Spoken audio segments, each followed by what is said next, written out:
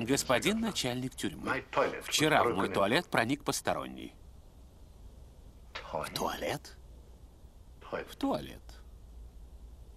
Проник? Да, проник. Мне очень жаль. Начальник, есть места священные для англичанина. Приношу вам извинения, Бриджер. Не сомневаюсь, сэр. Это указывает на вашу плохую работу. Вы должны не только никого не выпускать из тюрьмы, но и не впускать в нее. Вы пример ленивого, не имеющего воображения руководства, которое губит нашу страну. Но у вас что-то еще? Нет, спасибо, начальник. Кстати, мистер Бриджер, вы не узнали человека, который так грубо помешал вам? Я никогда раньше его не видел.